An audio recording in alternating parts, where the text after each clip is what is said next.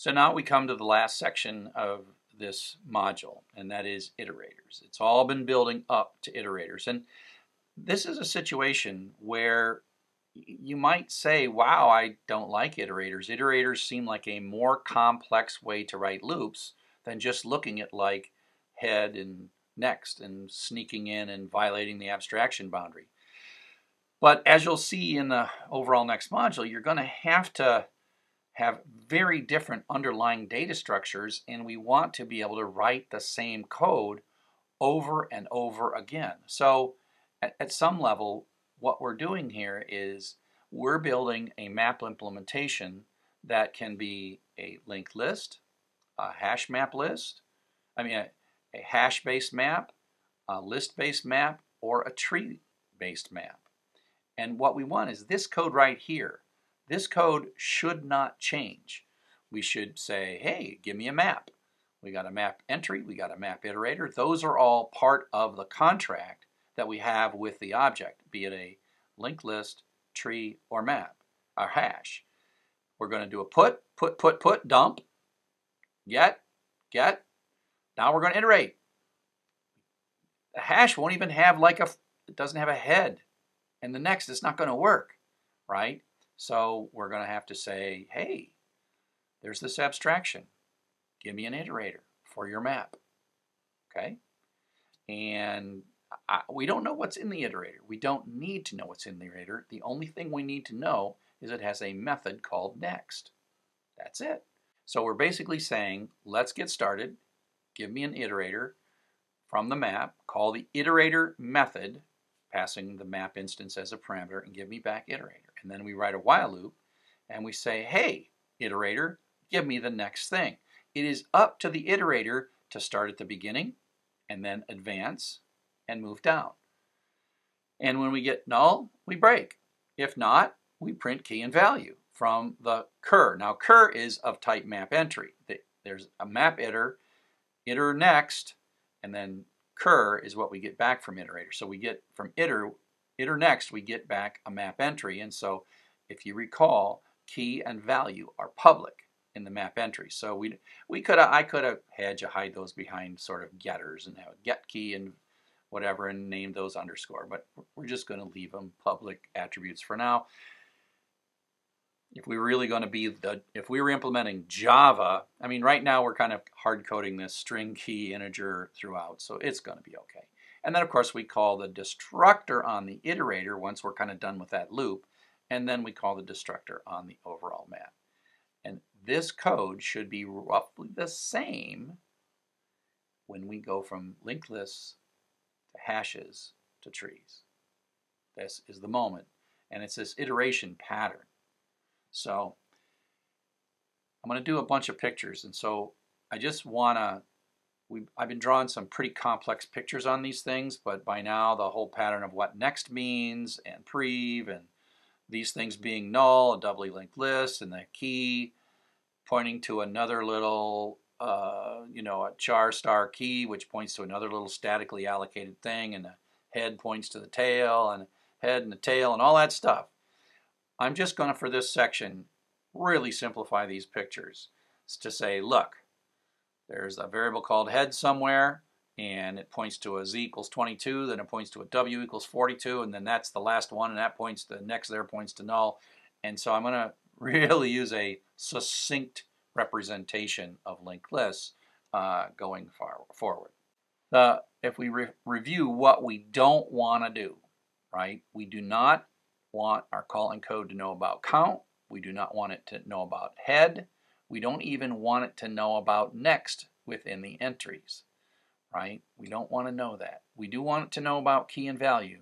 And so the calling code where map arrow number underscore head current underscore next no, no, no, no, no. That's not allowed, right? Those are private. So in our calling code, if we're if we're looking at things have underscores, technically we could do it because there's nothing in C that's stopping us, right?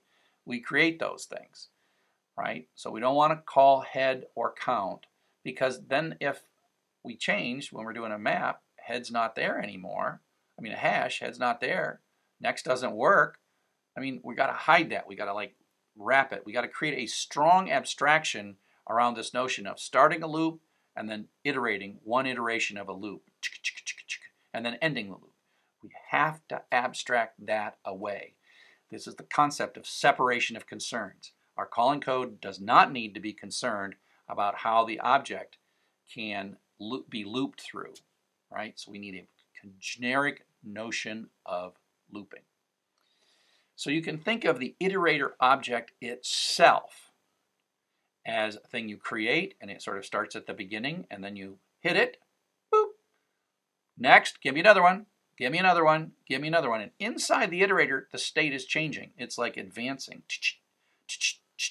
And it just gives them to you one at a time. You can't ask it for the same one. Once it's been given to you, it's sort of like ratcheted down to the next one. So if we look at this Python code, we, uh, well, we'll start with a dictionary. A maps to 1, B to 2, C to 3, and we print it, and there's the dictionary, and we say, oh, let's convert that to a list. And that list is the keys, which is ABC, and then say, give me an iterator from that dictionary. We print that out, and we print the type of it. It is of type dict underscore key iterator object. And so the iterator itself is not the entire dictionary. It is not a list of all the keys. It is an internal structure that Python is going to maintain, and then we're going to poke it by calling next, next, next. Now the whole next thing, that's probably calling an internal method like under, double underscore next, double underscore. So next is part, is, is, is part of the Python language. So if you look at the while loop, it's a while true loop. We say item equals next. So that means uh, give me the next available item in the iterator and then advance it. And if we're past the end, return me false. Then I say if item is false, break, and otherwise I print the item.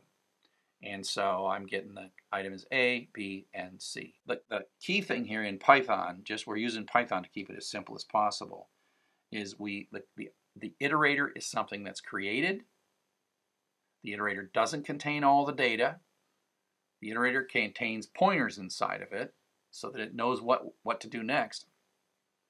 And we repeatedly probe the iterator with the next call to get the next thing. And that both advances, returns, and indicates when we have run out of things. So it's weird because we're so used to say like for blah in blah or for this, that, but that's, that's not how iterators work. Iterators want this next thing to happen. In the C code to do the iterator, you create it, you loop next through, and the C one is going to look pretty much the same as the Python one. So if we look at the map iter structure, it is going to have the kind of things that we, we've needed. We just are going to pull them in. So the concept of current, like we've used the variable cur in the past for these loops, is in the map iter structure. And it's private. So we've moved that from a sort of a variable that was in the main scope to inside this and made it private. The only public things we have are a next method and a del method. And so now what we have is a simple contract. You can see our, our kind of outside contract for this class is it's not cre it's created by the map class, but once it's constructed, next and del are the only thing that you can do with this, and that's that. And then we get to decide inside this class. And so when we construct it, we're basically going to start it. We're going to allocate the right size. We're going to take the current and point it at the first item, pulling from the head of the linked list. And then we're going to set the two methods next and del based on the address of the implementations of the functions that implement it, and then we're done, right? And so because we're inside of the map, and that's map iter, so this is what you get when you go map arrow iter, you get this code. Um, and so we're totally allowed to do everything private with map because again, the developer of the map class is the same person or team that's developing, developing map iter. And if we wanted to change head to, you know, X, we could because we would just go inside all our code and change it, but head is not exposed to the calling code, so they wouldn't notice that change. Again, that's, that's the key. At the moment the constructor is called, before the first call to next, this is what the map iter looks like. Current is pointing to the first item in our linked list. Then the while loop starts and it calls head.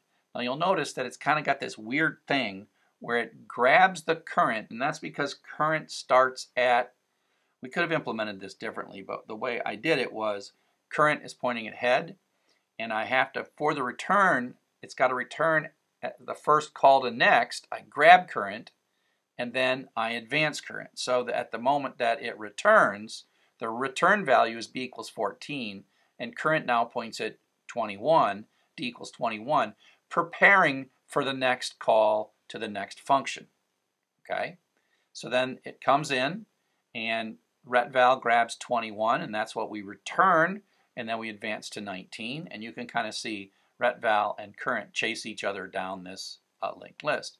So the re we return f equals 19, and then current points to null, and then we notice that current is null, and then we return null to tell our calling code that we are finished. So to start the iteration, to prime the iteration, we call the map object and say, hey, give me an iterator for the map. And we get that back, and we're going to store that in our variable iterator.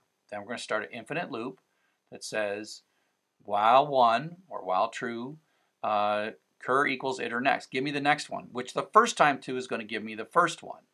Then if I got a null, I'm done with the loop. Otherwise, I print the key and the value of the one I got, and then I go up and I iterate to the next one, print it, up, print, up, print, up, print. Oop, I got a null, and then I delete the iterator.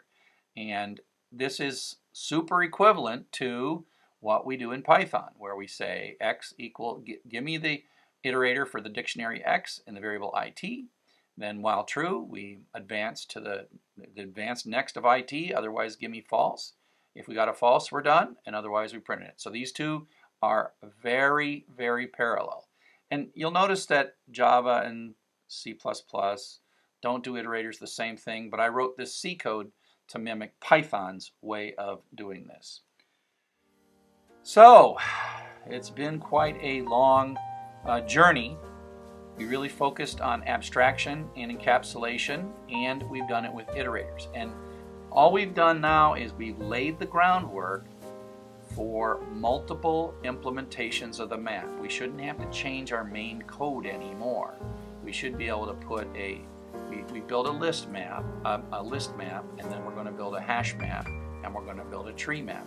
Those have increasing complexity and improved performance characteristics.